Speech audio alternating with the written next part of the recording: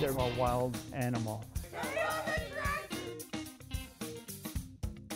You're guaranteed a good meal when Nick is cooking. Next likes fire. That's a thing of beauty. I have never seen anything like it. That's really good.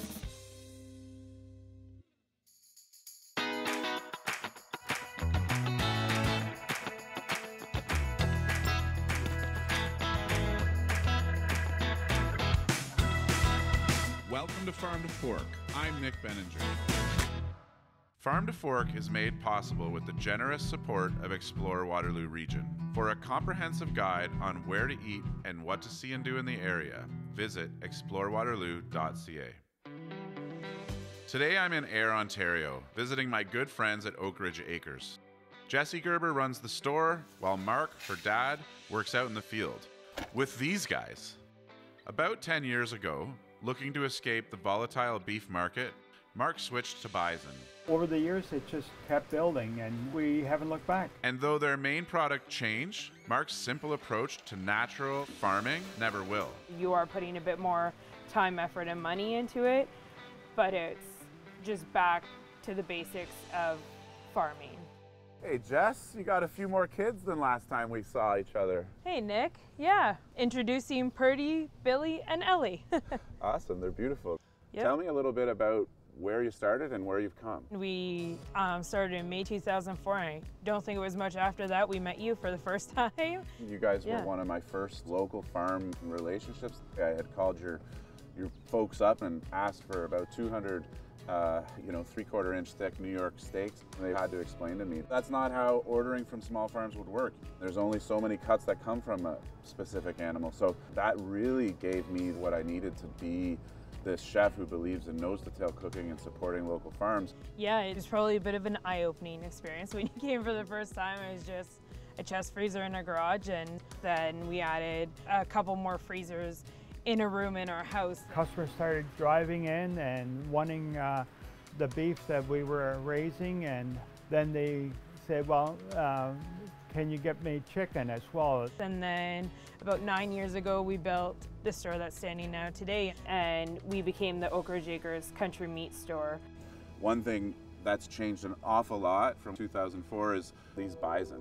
Yeah, so the bison have been here on the farm for just over 10 years now. We started working with one farm in St. Mary's. And it got to the point where the farmer in St. Mary's said, hey, I can't keep up with you. Uh, you're a beef farmer. Throw some bison in there as well. So that's what we did. So here we are 10 years later, and we have almost 90 head of bison here on the farm. It's amazing. Well, Jess, it's been great chatting with you, and it was wonderful to meet your kids. Uh, I think I saw Mark over in the field on my way in, so I'm going to head over and say hi to him, and I'll catch up with you later in the store. Sounds good. I'll just finish up with these guys. Awesome. Good luck with that. Hey, Mark, long time no see. I see Yes. you've got some new creatures around the farm. We've branched into some of the bison industry. takes a, a number of years to get them up to the size that you would need them to process them, but we're there now and it's all working out. That's awesome. What drove you to bring on bison? The benefits of the meat. Bison has no cholesterol and very little fat, and it really took off. So I made the decision that we would be uh, 100% bison farm. And the taste of bison is real nice and deep, rich It- meat it- flavor. Yeah, it's very, very rich, and it requires a little different style of cooking, but there's lots of information out there. and I imagine it takes a different set of skills to raise it too. Uh, we don't do anything on foot.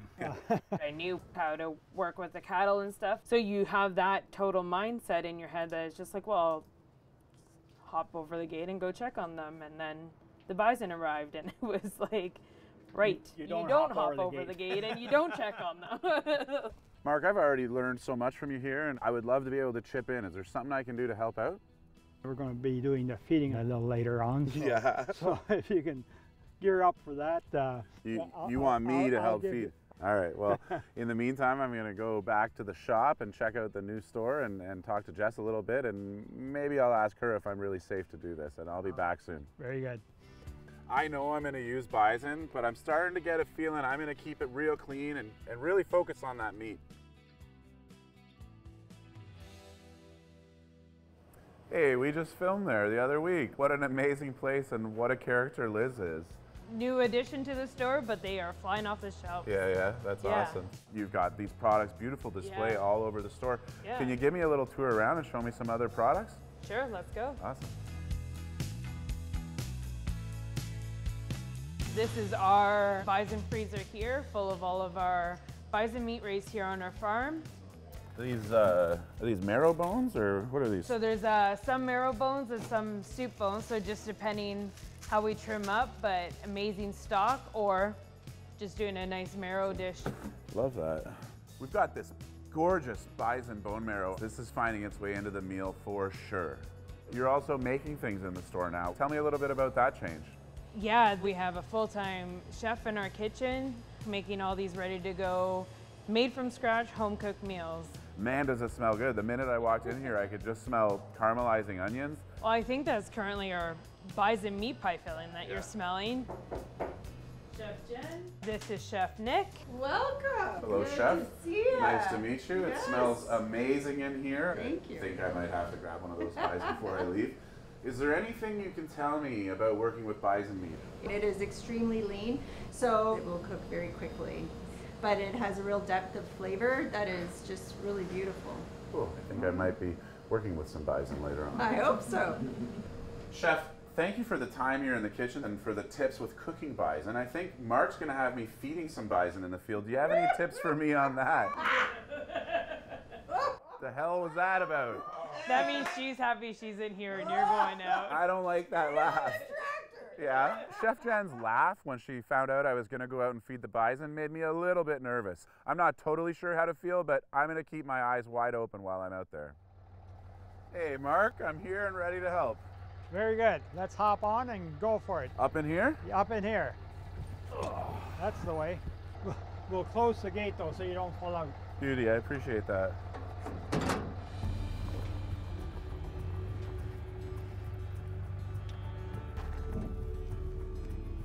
That big papa there, Mark? The big Yes. fellow with the. The big boy in the center, that's Tatanka. You can really pick up on the fact that Yeah. he's in charge. He's the boss. What a beast. Go on this side and just dump them out, out the side. They'll, there you go. Here they come. You guys like me because I got the feed. These are like pretty happy customers, Mark. I'm not yes, used to this. Yes, they love their treats. So do I. There's Tatanka. Has this guy been with you since day one? Yes, he's 12 years old now, I think. So is he your only bull? Yeah, So he's responsible for all this? yeah, he's Wow. a happy man. Good for you, buddy. You've done good. I just have two kids. See, you could probably scratch his forehead there. Really? Can't quite reach him. He knows, I think he can sense my culinary abilities, and I don't mean any harm. I thought he handled it pretty good. Yes, they were yes, uh, right up there. He was uh, he was getting very personal with Tatanka. yes. These guys are awesome. Feeding these guys was just a blast, but now it's time for me to do my real day job stoke up a fire and cook for these folks. I think Nick's gonna prepare something a little out of the box and delicious as per usual. I know what I'm gonna make, and it's gonna be just as special as those creatures.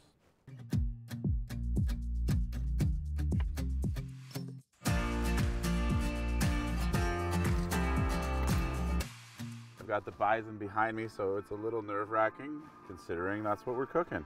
I've decided that I'm gonna make burgers. They're gonna be just a really simple burger that gets a huge amount of butter on it. I'm gonna roast this bone marrow off and mix it into the butter, and they're gonna be absolutely delicious. So I'm just gonna place my bison marrow bones in my bake oven here. On goes my lid. I'm gonna find some nice burning charcoals to put on top and I'm just gonna let that do its thing. Now I'm just gonna slice up some onions. All right, the next thing I'm gonna do is mix up our bison burgers. Overthinking something like a hamburger is where so many people go wrong. This is a simple food and you don't wanna mess with it too much. Now it's time to make our butter sauce. So, into our bowl goes a half pound of butter. And I'm gonna get my bone marrow. And oh my God, those are perfect.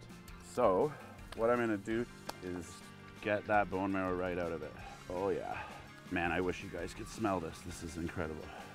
And then I just want to give this a good mixing. So that's really good.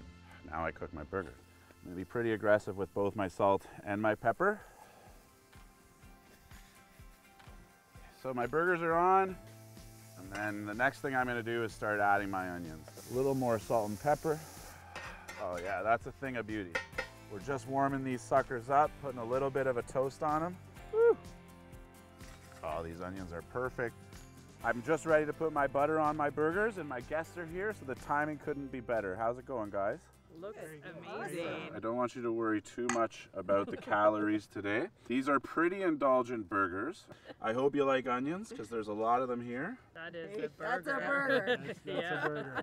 Just hold me back. Just hold you back. All right, guys, I think our burgers are ready for us. They're a mouthful. I definitely recommend you eat like a chef and Yeah. pretend you're standing over a garbage I can. can do that. Yeah. But dig in there and grab a hamburger. Amazing. Yes, I'm out in the bison. Look at that. Guy Fieri taught me this move. Mm. Wow. It's a perfectly cooked burger. That is beautiful. Well, guys, I truly appreciate our relationship, and uh, today was just a ton of fun. And thank you so much. Cheers! I can't wait to come back. Sounds good. Any day.